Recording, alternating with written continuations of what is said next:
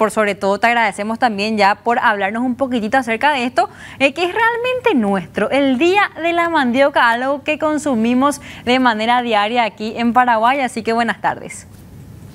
Muy buenas tardes, Fiona, para vos, para tu gran audiencia y efectivamente creo que es un gran logro y un gran reconocimiento, un producto tan noble, de tanta tradición, un producto arraigado en nuestros valores culturales. Realmente desde el Abasto Norte nos sentimos muy, pero muy contentos de haber dado nuestro, de haber aportado, digamos, nuestro granito de arena a que esto se pueda lograr.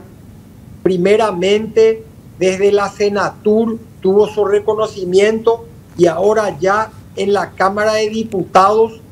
declarando a la mandioca como de interés nacional y cultural. Yo pienso que realmente los pueblos deben destacar sus tradiciones, sus valores y creo que este es un reconocimiento muy justo a un producto no solamente que significa sustento económico de muchísimas familias campesinas, sino sobre todo de ser un producto que está en la mesa de todos los paraguayos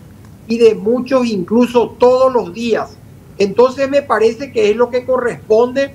y en Abasto Norte ya hace muchos, muchos años hacemos un gran evento, una recordación para darle su lugar a este producto y justamente hoy con mucho orgullo, ya con una fecha específica, llamándole el Día Nacional de la Mandioca al 9 de noviembre. Y realmente es un alimento sumamente noble porque nosotros comemos la mandioca con empanada.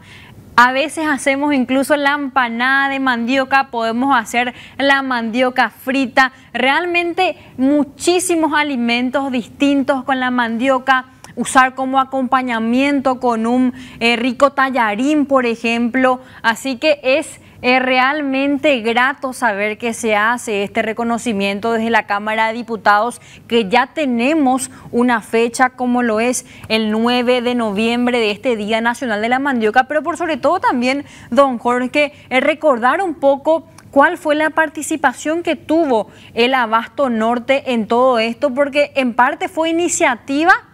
del Abasto Norte.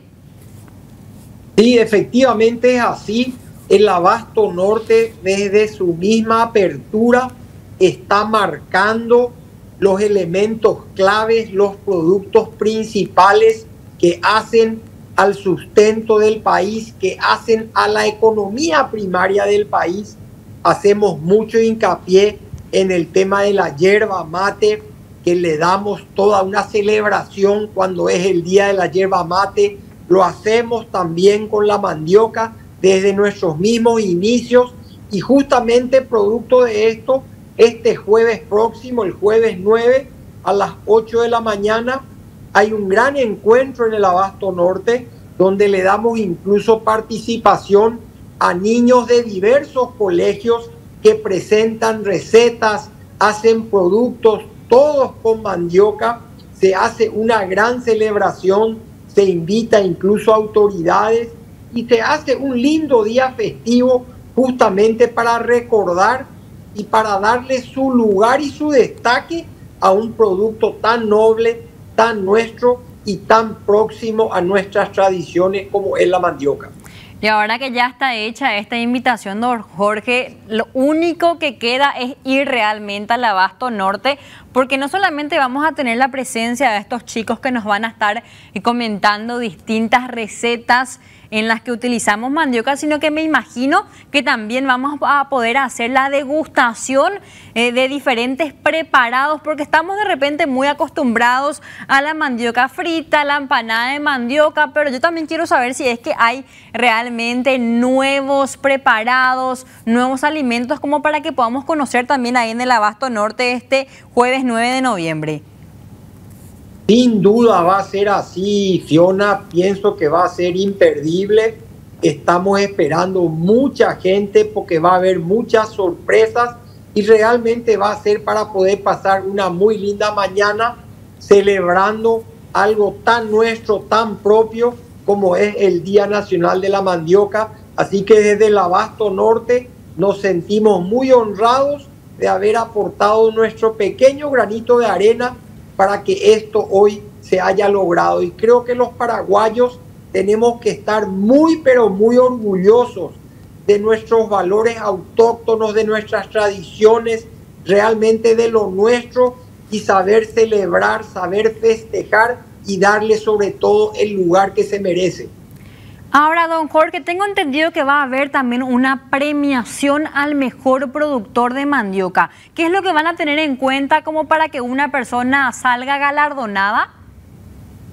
Se establece un jurado que hacen una evaluación del producto, tamaño, calidad, condiciones. Hay un jurado muy serio que justamente va a dictaminar